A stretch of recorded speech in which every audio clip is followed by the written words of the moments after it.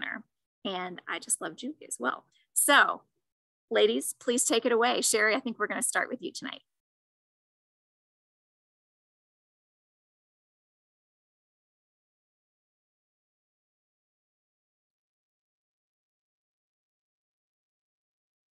Tracing Family History, Finding Your Kentucky Ancestors. As previously mentioned, I'm Sherry Daniels and I'm the head of Library and Archives here at the Kentucky Historical Society. So let's begin with something really basic. What is genealogy? Well, the definition of genealogy is pretty straightforward. One, it's an account of the descent of a person, family, or group from an ancestor or from older forms. Two, regular descent of a person, family, or group of organisms from a progenitor or older form, i.e. a pedigree. Three, the study of family pedigrees. And four, an account of the origin and historical development of something. So as you can tell, I mentioned the word pedigree. So genealogy is sometimes a little bit more focused on going back in time or how far you can go back in time by recording, usually on a chart, the ancestors that you can find. But what is family history? Is it the same thing? The family historian is more concerned with the why and the how of our family's past instead of focusing on the lineage alone. Quote, if you can understand the forces which shaped men's lives, then you can better understand those men. That's a quote by Val Greenwood. In other words, all family history is contextual and it cannot be viewed in isolation or separated from its historical framework. So what does that mean for you? The catch is both strategies are necessary to gather the information needed to not only fill in your pedigree, but to pass on a complete history of your family. So you need to put on the hat of being a genealogist, but you also need to understand that historical context in order to fill in the tree with your family history. So getting started, first generation strategy. Always start with yourself and work backwards record what you know, and then delve into research that will help you identify the ancestors that came before you.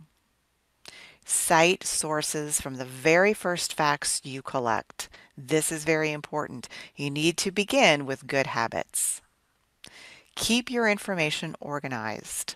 That's also very important because you will be surprised at how much you gather from a very short period of time. Keep things simple. Keep yourself focused.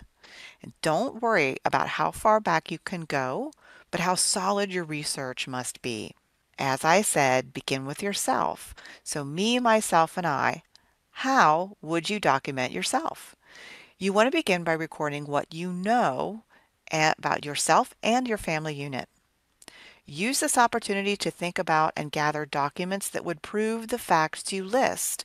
What documents can you gather that prove you existed? Raid the family archives. Ask lots of questions. This is a good time to start gathering some of those family stories and gathering some of your own memories as part of your quest.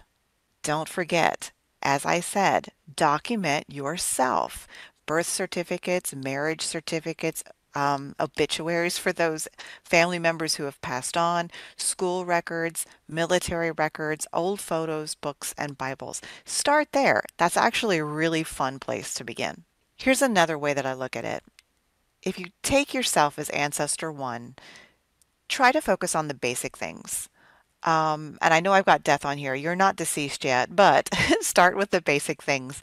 And you can use this for any ancestor that you move forward with. So you want to gather the basic things birth, marriage, milestones or careers, and death. Things that you might have access to in your family home. Then you want to move on to other records that are available out there, such as census records, taxes, deeds, court records, probate, wills, estate records.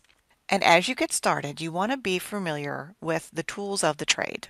One great way to do this, and a very simple way to do this, is look up something called a family group sheet and even ancestral or pedigree charts. A family group sheet, there are loads of them out there for free online. Just Google that, print one out, grab a pencil, and start recording the pieces of information that the form is asking for, such as names, dates, locations, family relationships. In fact, a family group sheet is going to begin with you, your spouse, children, um, and then it's going to include parents and the dates associated with every one of those people plus locations. So it's a really simple way to do that. Now, there are digital ways to do this, and I'm going to show you that in just a second. Organization system, choose that now. Do some research, do some homework on the organizational systems out there and that are available for family genealogy research. You'll be glad that you did. Family tree software, Absolutely. There's loads of choices out there, and I'm going to cover that in just a second. Online databases. So many people get started with online databases, but I encourage you to step back, begin with yourself. Document what you can, then move on to the online databases for folks that predate you, i.e., your ancestors. Vital records and census. That's another great one to track your ancestors going back in time, usually every 10 years. And just a tip, we have the 1950 census will be released to the public for the first time on April 1st of 2022. So any of your ancestors that lived in 1950 should be able to be discovered in this new resource that's coming out. So stay tuned for more information about that. Educational material. There are so many options out there. Free videos and resources. In fact, there's just one example right here to the right. Um, that picture is of RootsTech. The rootstech.org conference has tons of free videos up there just from this year. And we at the Kentucky Historical Society also have a free YouTube channel. Go to our YouTube channel and take a look at the genealogy videos we have up online. Do yourself a favor, look into the options you have for digital family tree making software. Um, numbering is automatic. You have reports and charts that you can print out. Some of them even have phone apps that you can take with you. And a lot of the calculations are already made in there. So if you've got a numbering or like a year date error that you've got in your tree, these things will flag it for you. And also, importing citations are so much easier with an, with an electronic or a digital format. So do yourself a favor, research some of those. Most of them have a free version out there that you can download and test drive. And I do recommend test driving because each person has preferences or ways that they like to work, and each one of these may be slightly different, so you might resonate with one of them. But what about those online world trees? Those are actually a very good option. One of the things to remember though, as with any world trees out there, just be careful about ones you're already using for research. They can be uh, they can be full of a lot of errors, um, but there are some really great online world trees where you don't have to download the software yourself. So do a little homework on that as well. Terms of the trade, learn the lingo. All of these things here that you see you're going to have to know what these documents are and why you need them to document your family. Census records, will, probate, estate settlements, vital statistics, deeds, church baptismal records, death certificates, mortality schedules, land warrant, patents, grants, obituaries, family Bible records, court records, city directories. Be patient with yourself. You will learn these as you go along but be on the lookout for different terms that you may need to know. As I mentioned before, review your citation standards now. Um, it's always helpful to kind of pick which one you like and then stick with it so that as you import your citations into whatever family tree maker software you use, you're using the same format. Now, a lot of people use Evidence Explained, which is already based off of another one of the well-known formats that we have out there, but historians often use Turabian. You could use Chicago, MLA, whatever you are familiar with and comfortable with, pick it and stick with it. This is a little bit more of an advanced tip, but I want you to put this on your radar, especially as we move into the winter months and you want something to read before you maybe head out on the road this spring to start looking for your ancestors. Um, be looking at the genealogical proof standard. It's a pretty easy five step process that helps you be responsible in your research. It talks about a reasonably exhaustive search, complete and accurate citation of your sources, analysis and correlation of the collected information, resolution of conflicting evidence, and soundly reasoned, coherently written conclusions. And these conclusions are not all of your genealogy. We're talking about the conclusion or an argument about proving one aspect of your genealogy. Let's say you have an ancestor that several people have reported it's a different person. Well, you gather the documents, you follow the GPS, and then you write an argument about why you believe this person that you have found is the correct one. So, but it's a very, very good thing to have in your mind that as you build your family tree, to make sure that the information you're gathering is correct online databases, as I said, so many people use these. The ones with asterisks there, those denote subscription-based databases that are available for free here in the Kentucky Historical Society Library. Um, Ancestry is one of the most popular but it is subscription based. You have to pay to use that or go to a library where it's free. FamilySearch.org is a free resource and a top competitor of Ancestry. So try that when you get there. They also have a one world tree that you can contribute your information to. Um, all the others here that you see, most of these are free for you to use online except for as you can see Fold3 that's also a subscription based you would need to pay to use that which is military based by the way um, or find a library that has that we have that one here in the library so if anyone's in the area come see us and you can use that while you're here on site database tips you will find many different kinds of information out there. Keep your searches simple. Use multiple spellings of surnames. Try to connect to an image of the actual document needed. Take the research of others with a grain of salt. Look for those citations. Just because you see it in an online tree does not mean that it is true. Make sure that when you're looking at someone else's information that you take a look at their citations, take a look at the sources that prove the relationship. Branching out. I know so many people love those online databases, but it's literally only the tip of the iceberg. You need to branch out and go off site for some of your research. Now let's take a look at Kentucky specific research. We are a land of many counties. Our official statehood began in 1792, but of course we had settlers, European settlers coming in earlier than that. At present, we have 120 counties, but prior to that, in fact, going back pre-statehood, we were indigenous lands, um, and then we were part of Virginia, and then we evolved into 120 counties. So that's a lot of research to consider. We had a lot of shifting boundaries over all of those years, variable record keeping, courthouse disasters. Where do you find what you need? You need to do your homework. So where do you find it? Obviously, there are various places you can go, courthouses, libraries, historical societies, state archives. By the way, the State Historical Society and the State Archives are both here in Frankfort. So this is a great town to come look for your Kentucky ancestors, especially because both of us collect on all 120 counties. There are other government offices. The Secretary of State Land Office is an amazing resource with early land records and um, digitized free images. Office of Vital Statistics for some of those birth and death certificates. Universities, don't forget universities. They have loads of wonderful archival collections. Homework one, county considerations. A lot of records in Kentucky are arranged by county, so you need to try to find out which county your Kentucky ancestors lived in. Which one do you really need? Narrow down the possibilities whenever possible. Take a look at the date of formation for the county plus the parent counties, and that might give you a target area. But not so fast. Don't forget about the shifting boundaries. There are many decades of musical county lines.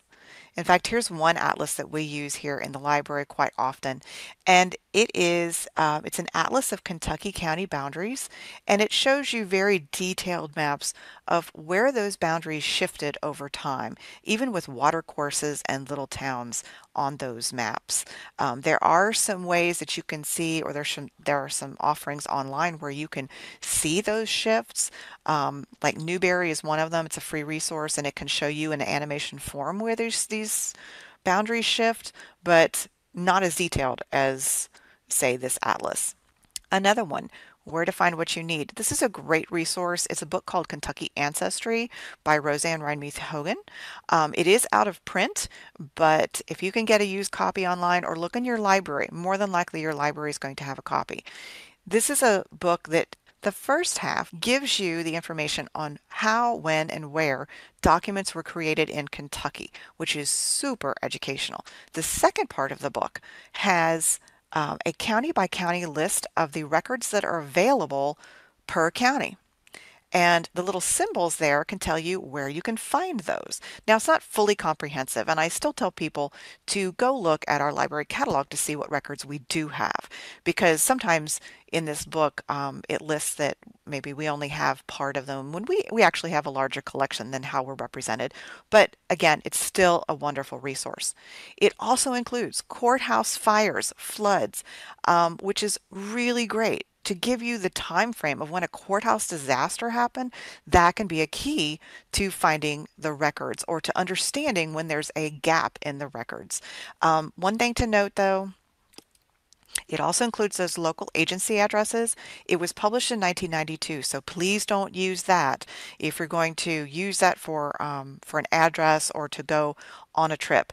Please double check their online information before making a visit. What do we have here at the Kentucky Historical Society? Well, we are home to the largest genealogy collection in the state, and we have so many pieces of information that can help you find your Kentucky ancestors. We've been collecting since 1836, and here's just a sampling of some of the things that we have. We have family histories and surname files, over 30,000 surname files to be exact, family Bibles, special collections and archives, photographs, diaries, letters, artifacts, county, state histories, church records, oral histories, city directories, how-to genealogy books, lineage books. We're open under our general admission Wednesday through Saturday 10 to 5. And remember, if you're a member, it's free admission to the entire campus. Don't forget to visit our website at history.ky.gov in order to see some of our online offerings and to look through our library catalog. When you get to the main page, you want to hover over the Explore section at the very top, and this box will appear, and the choice you want is Resources. That's going to take you to a list of all of the catalogs we have available online, which you definitely need to take advantage of. There are many that are free databases in here that have actual resources you can take a look at. Now, our library catalog is going to be just a list of the items we have in the library. It's not going to have the contents of the books or the materials. However, kyhistory.com is going to give you digital images of select items from our archive, including family Bible records. So that's going to be one of the resources that you can literally go to and see original records for free from the comfort of your home. Here's another list um, Kentucky Ancestors Online. That's our free genealogy publication. Please go there and learn some more about researching Kentucky ancestors.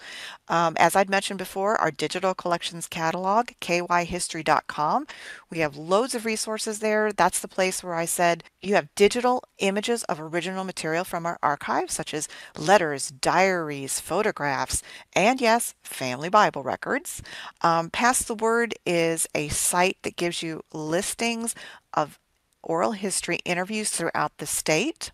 And then Civil War Governors of Kentucky is another place that you're going to find original documents in digital format in order to find your Kentucky ancestors. And again, all free. If you want to learn some more, we also have a brand new TV show out. Season one just aired earlier this year, but you can see every episode on our YouTube channel. This is really, really a fun series, and right now we are taking applications for folks who have Kentucky based family history mystery. If you'd like to submit your Kentucky based family history mystery for our researchers to solve for season three, you can go to KentuckyAncestors.org and just click on the top banner. Scroll through, there'll be some clicks you need to get through, but you will eventually get to a form that lets you submit that information. And by the way, help us out. We also have a new Facebook group called Kentucky Ancestors. Just look for that. Um, one of the things that I mentioned earlier on when I talked about the county formation list, the parent county formation list, um, that handout was just posted to our Facebook group. Um, so you can grab that anytime. One last tip that I have for you time considerations. Always lower your result expectations. Remember that genealogy research is as much about recording where you looked as it is about recording when you found something. So be on the lookout for some research logs so you keep track of where you're searching, what you found, or what you did not find. Keep realistic time goals. When you're out on the road visiting libraries, or even if you're sitting down in front of a computer, don't do this in an impatient state. Plan ahead, budget your time wisely. Always remember that research is a time consuming process, but it's also really fun. So enjoy yourself, be responsible with your research, cite those sources. You'll be glad that you did. And let's get going. Your ancestors are waiting.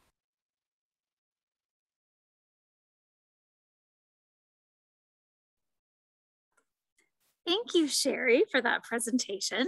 Um, I do want to remind everyone watching to submit their questions for Sherry in the chat or use the Q&A function. Um, and we're going to be taking your questions uh, for Sherry uh, in just a little bit. Um, before we hear from our next speaker, though, uh, we have a history trivia question for you tonight. Um, so let's see if you can identify the correct answer. Um, I've given I've given you some multiple choice options tonight. And let's see, do we have a slide with that question on there? I'll pop that up there, hopefully. It'll be easier. there we go. We should have that.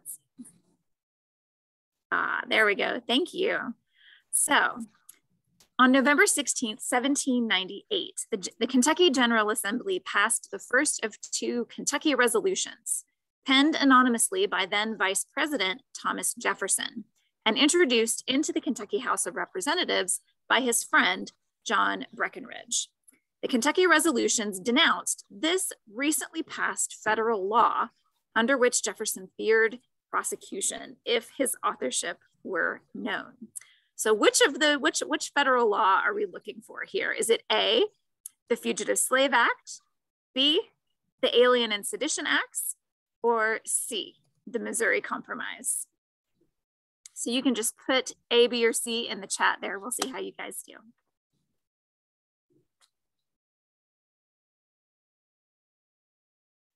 Jill says B. Sheila says maybe A. Got a couple more B answers. Oh, but A is a popular choice as well. oh, there was a C as well, Missouri Compromise. All right, I'll go ahead and tell you guys. The correct answer is B, the Alien and Sedition Acts. That was passed um, uh, in 1797 by the US Congress. And um, it uh, a lot of people really opposed it. Um, and so um, Jefferson and also Madison decided that they would get some state legislatures to pass resolutions to condemning, um, uh, basically denouncing these laws. And so one of the states that did so was Kentucky. Um, and also, and then Thomas Jefferson wrote those resolutions that Kentucky passed. Um, Virginia also passed resolutions. Um, sometimes they're referred to together uh, and Madison penned those. Um, so yeah, that that happened on this day in 1798. We passed those resolutions. Okay, so um, I am going to turn it over now to Julie Kemper, our curator of object learning, and um, I'm going to be filming her um, while she shows you some artifacts here in our collection storage. Area and uh, talks about how to best care for those items. So I'm gonna mute my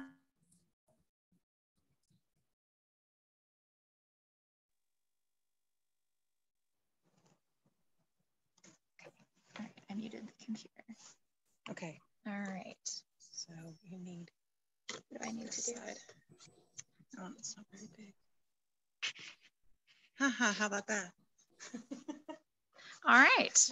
I'm gonna go on the side of things. Can they hear us all right? Can you guys hear us all right? Yes, we can. Perfect. Turn up the volume. Just that top one right there. Oh, excellent. Yes. Okay. All right, well, thanks for joining, joining us this evening. Um, Sherry is sort of on the archival side uh, in our institution here. I'm more on the object side, uh, but since she talked a lot about gathering family documents, I thought I might do a brief um, overview on making sure you take good care of those things. Um, and she can correct me when I'm wrong. How about that? Um, so I'll start uh, with uh, some basics uh, that really goes for anything. It doesn't matter if it's a piece of paper, if it's a piece of fabric, if piece of wood, piece of leather, um, anything. Um, you want to think about what is going to damage something over time. So number one is light. Um, that includes heat from the sun We'll also do that. Um, you also want to think about um, the air around something. So um, you want to make sure that you keep things um, that are not in rooms with fireplaces that you use a lot. I know that sounds kind of crazy, um, but the soot from a fireplace that you use all winter long can make a difference. Um, also, temperature is a big um, important thing to think about, both temperature and humidity. And everyone always asks, well, what's the best temperature? What's the best humidity? Um, the truth is the worst thing for temperature humidity is big changes quickly. Um, so I, when you are thinking about where to store your family heirlooms, um, you don't want to keep them in a place like the attic, which is really hot in the summer and really cold in the winter and can make huge changes just within a day or two. I mean, think about Kentucky's weather, right? Um, so you want to choose a place um, that does keep a fairly average temperature. And th those are just some of the basics. Um, another one of those is think about the material that is touching your items. Um, so we're always going to want to think about materials that have uh, little or no acid, natural acid in them. Um, think about a newspaper. Keep a newspaper around for a couple of months, it turns yellow. It's because that paper is has a lot of acid in it. So when you're thinking about keeping um, your documents as you doing your research, whether it be your birth certificate, birth certificate, or maybe grandfather's military records, um, a basic box like this, an archival box, is a great thing to invest in. Um, it is acid-free cardboard. Um, this actually is records from um, our Churchill Weavers collection, to tell you the truth. Uh, and inside are folders that are also acid free. Um, one thing that's really important if you choose to use a box is when you're first starting out and you only have a few things in your box, um, make sure you add support. Um, so if you, I'm gonna take a few of these out here in order, so I know what order to put them back. So if you think about only having, say, um, two or three folders over time, them leaning over in the box, one's way or the other, is actually going to cause um, those documents to curl over time. So you can put um, some kind of cardboard in here, um, anything that's going to help take up the interior space so these documents remain flat. Okay, I'm gonna move this over here. Inside your folders, a lot of times we run into, is this one that has one? Nope, I'm gonna pull one that does. There we go. Inside your folders, you can have multiple documents, though again, do think about what those documents are made from. If they're all from the same type of paper material, you're fine. But you don't wanna stick a newspaper in with say typing paper um, because they are, those acids are going to be uh, problematic. Um, also, if you run into any staples, very carefully remove the staples. I, re I, recommend a pair of tweezers is always a good way um, to take out the staples. And if you, but if you still need to keep them together, oh, there was one in here. No, maybe not. Uh, here we go. If you do need to keep them together, do not use metal paper clips, use plastic paper clips. And don't try to put too many together at once or you really will create a permanent crease. But you can use, you can see in this one, I don't know if you can see that little dent right there, that's from a metal paper clip right there. Um, so plastic paper clips are much better, um, even though modern paper clips don't rust as badly as um, ones safe from the 1950s, which we find quite a bit. Um, you still want to be able to um, protect your papers um, as much as possible. I will put these back later, but I'm gonna put them back in the right order. um, so uh, we and also another option, if you don't want to go with a standing box, um, is to actually put um, some some materials in plastic sleeves.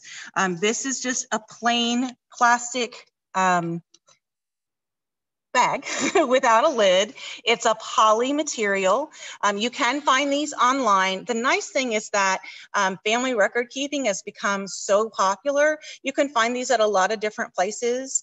Um, a lot of um, art supply stores carry these now. And so just look for things that are archival quality is the key. They're not very expensive, as expensive as they used to be. So this is a poly bag. Um, you can also use, or, and polypropylene. Um, so this is mylar. It's a little bit thicker. You can feel that it sound here that it sounds like a little thicker. Um, and notice that um, this is sealed on the bottom uh, and sealed on the side, but not sealed on the other two sides. Um, that is a change in the last, I don't know, 20 years or so, that we no longer seal documents because you're then you're trapping moisture on the inside, you want to you want to keep them open. And these are also things that um, you can buy with them already sealed, or you can buy sheets and um, use uh, tape, um, archival tape, double stick tape um, to seal them as well. Um, a lot of folks ask about photographs. There are so many options for that. I'm actually not gonna go into a lot of detail tonight, but I will tell you, please do not use the albums with the sticky sheets. please do not use the albums with the sticky sheets. Um, you can um, buy photo albums that have the plastic type sleeves that you slip them in, but you don't want to use anything that has an adhesive of any kind. Um, you can use photo corners if you choose to, but make sure the paper you're putting them on is acid free. Um, another thing about acid free paper, um, it's also good to separate in your files. You can use acid free paper in between things, um, and you can literally buy that off a supply store, um, our acid free paper. Just looks like typing paper, but it's acid free. Um, so that's our quick cover of archival materials. Um, and now we're gonna move on to um, one of my favorites, textiles. See, we have a whole bunch of artifacts up here. That's right. Um, so when it comes to objects, the number one question we get about how do I take care of grandma's blank um, is textiles. Um, we often get questions about clothing, especially wedding dresses. We also get questions about quilts a lot. How do we take care of these? So I'm gonna cover just a couple of basics um, on taking care of quilts and clothing. Um, there's lots of other materials out there. If you have any questions, you're welcome to send me an email and I will answer them to the best of my ability. Um, but it still goes back to our basics. You wanna keep them away from light, especially direct sunlight. You wanna keep them in a good temperature and humidity environment, and you wanna keep them away from acid materials. And we're talking about fabric, you also need to watch other fabrics um, because if you decide to wrap um, your mother's wedding dress in a sheet with a floral print, you have the possibility that the dyes from the sheet could transfer to the dress. So anytime you're using other fabrics with fabric, make sure that they are, um, they are of a solid white, preferably unbleached, um, but certainly not any colors. We're not running out of battery, are we? No, I think okay, we're good. Great. Um, okay, so in our nice acid-free box here, um, you can buy boxes like these online. They are a little expensive, um, but if you have something that's particularly uh, dear to you, it might be worth investing in one. Um, the other thing you can do is you can use a plastic box that is lined with acid-free tissue, and I'll cover the tissue in a second, but do not seal it because when you seal something and keep all the air trapped in, you're creating a microenvironment that could potentially grow mold. So you don't wanna do that. However, you do wanna keep it enclosed enough that you don't get moths in and things like that. Do please don't use mothballs. Please don't use mothballs. you don't want anything like the mothballs directly next um, to your clothing. Um, same thing with cedar. You don't want the cedar touching the clothing. If it's in the same closet, you're pretty good, but All right, so this is an acid-free box. It's not my favorite type because it's hard to open. Like the other kind. Um, so this dress here, you can see what we've done is um, you, this is acid-free tissue. You can buy it in sheets. You can also buy it in rolls. Most likely at home, you buy one pack um, that's going to be more enough more than enough. Um, this is probably a little overstuffed, to be honest with you. Everybody has their own way. I particularly chose this dress um, because you can see where it has had light, dam light damage already. Um, it was, it might have been on display. I don't think this light damage is from actually being used um, because it's just a little too um, consistent. Uh, I'm gonna move, uh, switch your places if I might. Um, so,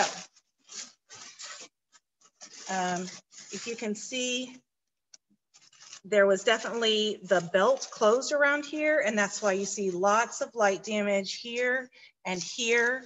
Um, it was probably on display just on one side. The back has much less um, fading.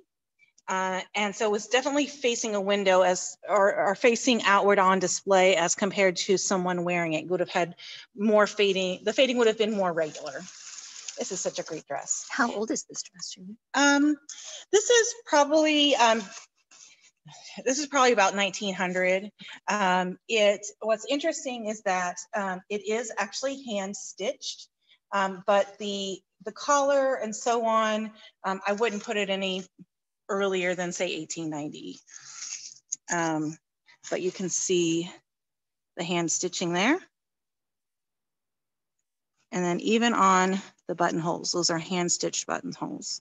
Now, of course, machines were well around by then, mm-hmm. um, but a lot of people were still um, sewing by hand, um, either, either for finer dresses, they wanted to make sure it stayed together, um, or to, um, uh, because they didn't have a choice, they didn't have a sewing machine.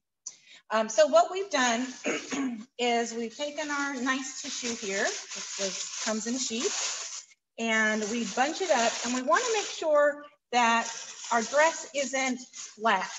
Um, the idea here is to avoid really strong folds um, that's going to create creases that won't come out because if you fold clothing and you leave a hard crease for an extended period of time, it actually breaks the fibers eventually. Uh, they become more and more weak, um, even just rubbing around, um, and they'll eventually, that'll eventually turn into a tear. Um, this is a particularly strong fabric because this is made of cotton. Um, and, uh, but so we have put stuffing in the chest area. We've put stuffing in the sleeves, as you see here. Um, one thing that um, not really needed, if you, these buttons, as you can see, are shell. And actually, I think those are um, rubber buttons. Um, but if you have something with metal buttons, one thing you can do is just take a little piece of the tissue preferably with a scissors, not your fingers. Um, and if you tear a hole in it and put the button around the hole, it would protect the fabric from the metal button. It just gives a little bit of protection so that the metal isn't somehow corroding the fabric. Um, so we're gonna give it some stuffing on the inside um, and then we do have to fold this into a box. I mean, I would love if we could lay out every single dress that we have in our collection. That's not happening. Um, so what we're gonna do is put paper wherever we are creating a fold, like this. And then the last one, just as we get it into the box. Um, we have put a layer, actually there's something else underneath, there you go. Uh, we have put a layer of paper um, underneath this and also on the inside uh, of the box before that one. And uh, that's just another added layer of protection Um, you might have noticed when we opened the box, there was one on top as well. So let's say, for instance, this box gets wet. Uh, it's going to shed a little bit of water, but eventually the cardboard would get wet.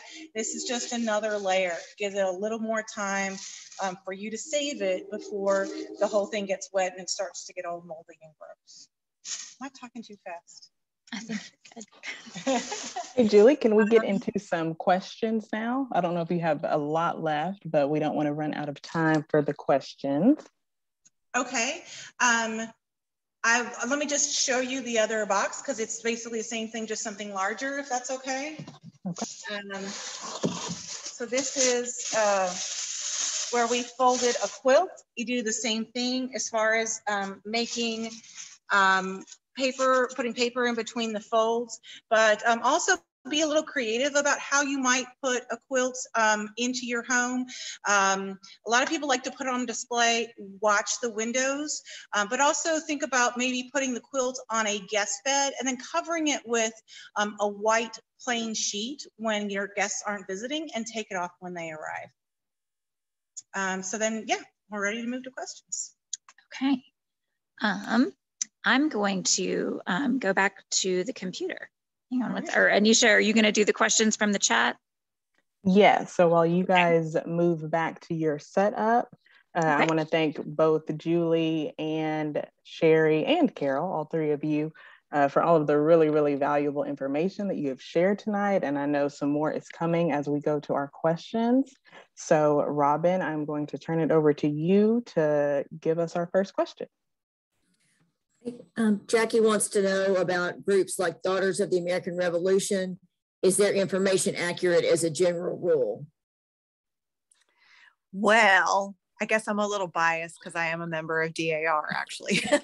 so, um, you know, the thing is, I think everyone's research can be faulty over time. Um, in fact, the very first inclination that or instance where someone told me that my family I could join on one of my ancestors, I was so excited. I was a teenager. I was really excited. And I ordered the application um, from DAR to see what the lineage looked like in hopes of, of tacking on and, and joining under that one. It came back just covered in red because the person who pulled it said, oh, this is actually not correct. So even DAR, they self police quite a bit. Um, you know, they're really good about documenting every section. I mean, when I joined, oh, about six years ago, yeah, every single piece of, I had to have a piece of paper to prove every single thing. So I think it's, and they have a whole team of genealogists now in Washington, D.C. So, you know, they're, they're a lot more stringent than they used to be.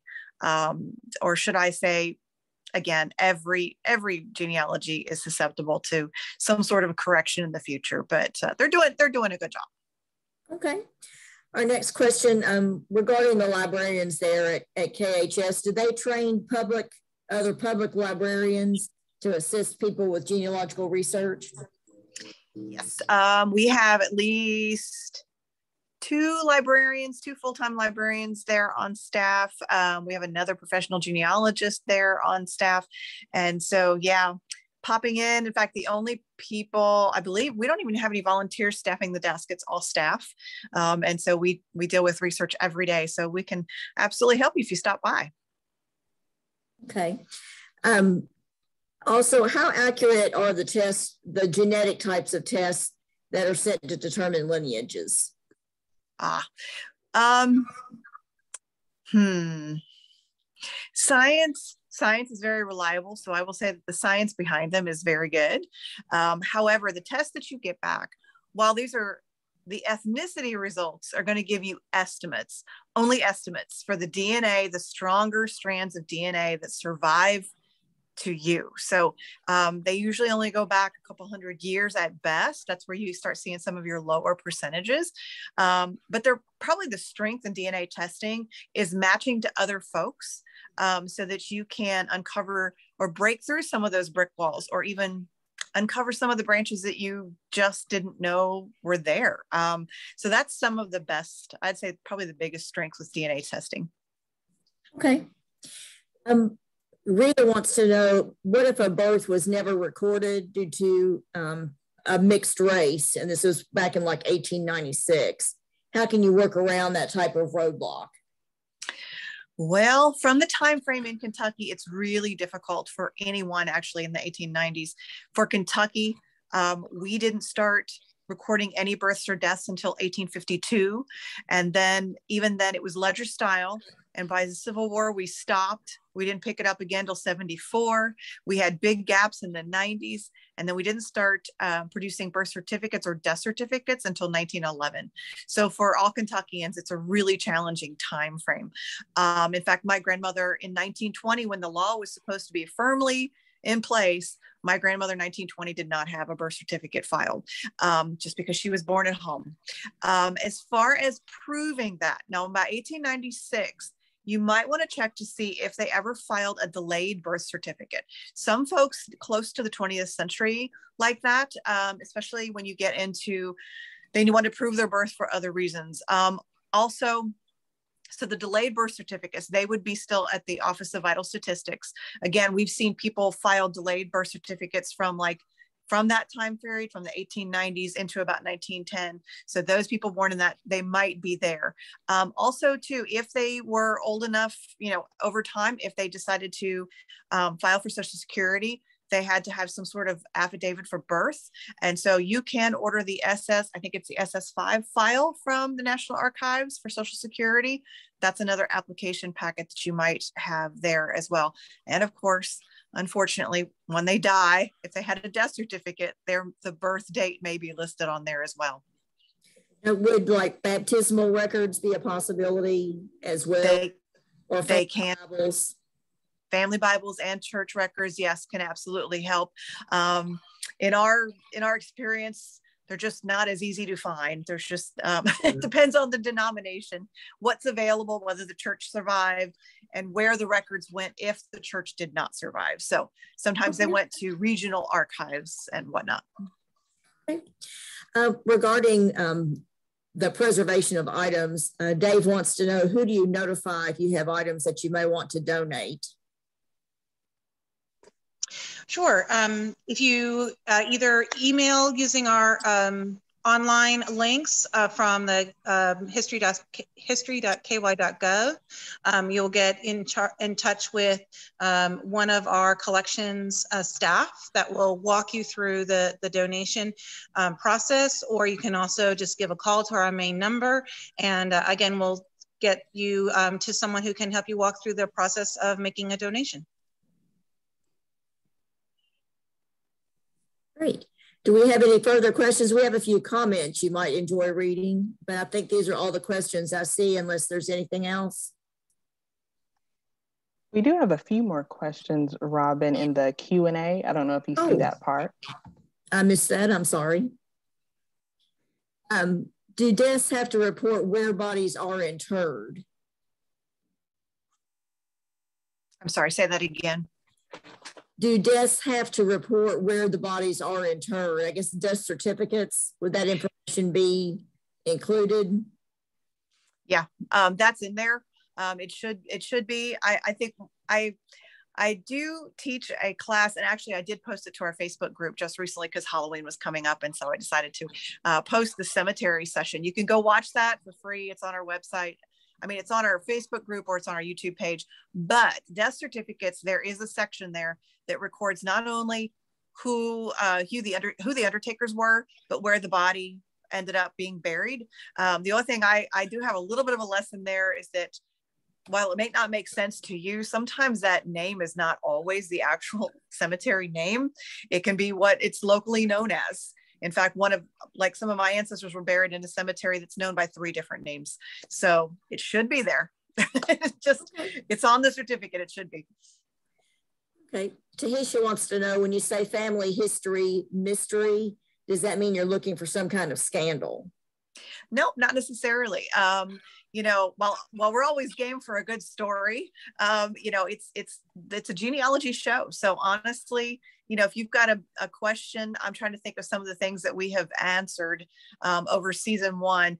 Actually, watching season one on on YouTube will probably give you an idea of um, of what we what we've solved. You know, I mean, granted, uh, while we like a good story, um, you know, we want something with a little meat that we can actually research and tell a story with. Sometimes we can answer a question really quickly and it just wouldn't fit fill 20 minutes. So it's kind of a weird balance that we have to go with, but um, no, not necessarily. In fact, we've got one coming up in season two that's going to be uh, answering a question and then filling in a lineage. So. Patricia wants to know, she says, my maternal grandparents came from Mississippi and Louisiana. Did those states have resources similar to Kentucky? They do. And in fact, um, that area, especially Louisiana, they're really strong on baptismal records, by the way. There's a lot of, uh, yeah, a lot of the, a lot of similarities in the records, um, a lot of national similarities, especially in those databases that I was covering. Um, you know, and, and one that I actually didn't touch on a whole lot, but newspapers, don't forget a lot of newspapers out there can also help um, with your records. So yeah. Okay. All right, Robin, we're going to have to cut it off there. And so okay. I'm going to see if Julie and Sherry can answer some of the remaining questions in chat for everybody or in the Q&A and they can type those out. I don't think I can type. I'm on the phone. okay. That's okay. I can maybe send those to you um, and we can put them in a follow-up email afterwards. So I will go ahead and turn it back over to Deborah. All right. Can I add one little thing before we go, by the way? Um, I mentioned the rootstech.org conference. Um, Julie and I gave a session on preserving archives and heirlooms and it's probably a little bit longer. It's got the both of us so we're kind of demonstrating some more. It's free. If you just go look for my name it'll pop up by the way.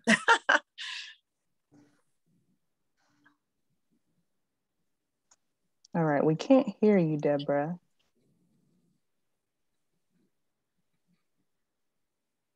We might be able to go ahead and go to Jim right now. So Jim, if you want to tell us about our other lifelong learning resources and we'll get our slide up on screen for you.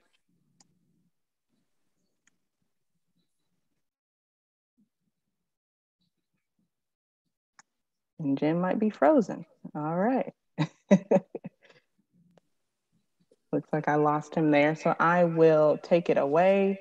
Charles, if you can put our slide on screen. So uh, as Deborah said in the beginning, this entire workshop webinar was a part of our lifelong learning initiative, AARP Kentucky Comebackers.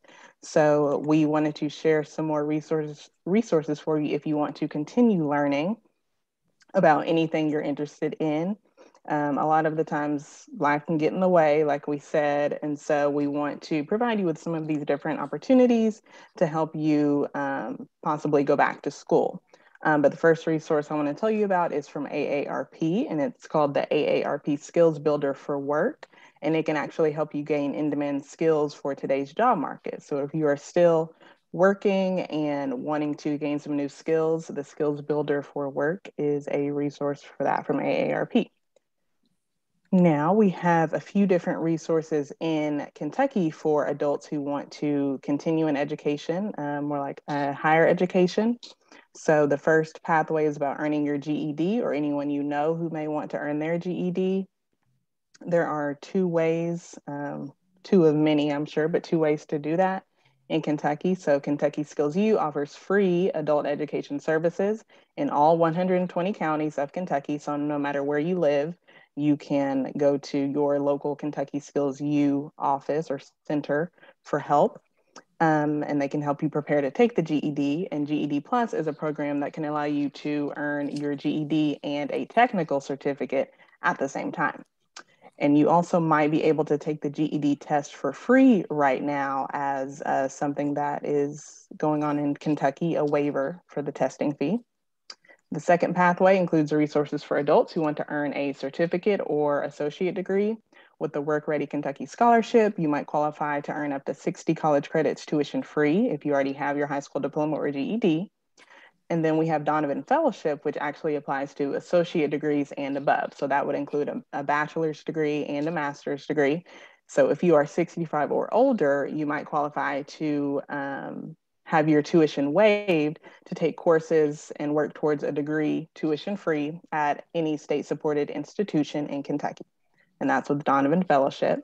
And lastly, in addition to Donovan Fellowship in our third pathway, we have um, another resource in Kentucky to help you finish a bachelor's degree you may have already started.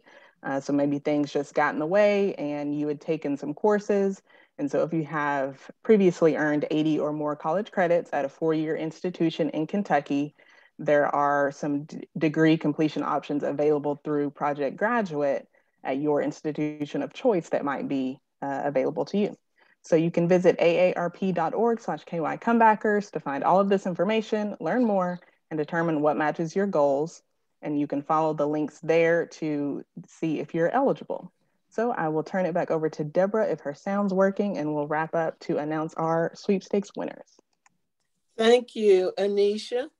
Can you hear me now? Yes. Okay. Okay. And before we wrap up from this wonderful, uh, enlightening session, um, we're going to, we're ready to see our giveaway winners. So, Robin, are you ready with those names? Um, I believe they were going to be up on the screen for me, and there they are. Um, All right. Yes, Terry Drain, Bonnie Bedford, Gracia Garcia O'Brien, Jennifer Isle, John Sutton, Norman Harn, Joanne Parker, Stan Watson, Linda Boyman, Rose Lewis, Steve Dunn, Marilyn Roberts, Thelma Huddleston, Danny Wright, and Tracy Huff. So please be on the lookout from an e for an email from AARP Kentucky about delivery of your prize. And congratulations. Well, congratulations to all the winners. And thank you, Robin, for your help and leadership today. So, as we wrap up, uh, I want to let you all know about a few upcoming events.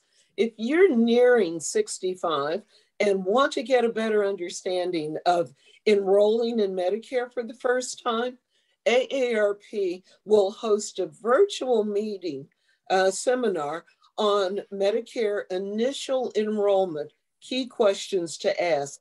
That's going to be on December 9th. So that's to help you uh, decide how you want to do things, assuming you've not been enrolled in Medicare before. So go to aarp.org slash near you to register. Uh, Carol, would you like to share any upcoming events from uh, the Kentucky Historical Society? I sure would. We are uh, really busy this time of year. We just opened a brand new exhibit, which I hope that you will come and see. It's called Illuminations, and it explores the history of light in Kentucky, um, how Kentuckians have created it and used it, used light um, at different points in our history, um, as well as the meanings that uh, Kentuckians have ascribed to it over time really cool, very interactive. So it's a great one if you've got kids or grandkids that you want to bring with you. Um, it uh, it opened uh, just the this past week, and it will be uh, on display through um, the spring equinox, which is I believe March the 21st. So come on out and see that. Um, we also have um, some other events coming up. Um, we have a monthly speaker series, which you might enjoy um, called our it's called the First Friday Speaker Series, and it's guess what on the first Friday of every month at noon. Um, on December 3rd, um, our speaker will be uh, Dr. Brad Asher, who is an independent researcher. He's from Louisville, and he um, has written a book about um, uh, General Stephen Burbridge, who was the military commander of Kentucky um, during the Civil War. Controversial figure. He did some things that a lot of Kentuckians didn't like. And so the title of his book is called, the, um, it's The Most Hated Man in Kentucky, which I think is great. Um, so that's uh, Friday, December 3rd at noon. And then the very next day, Saturday the 4th, we have a free event at the Old State Capitol here in Frankfort.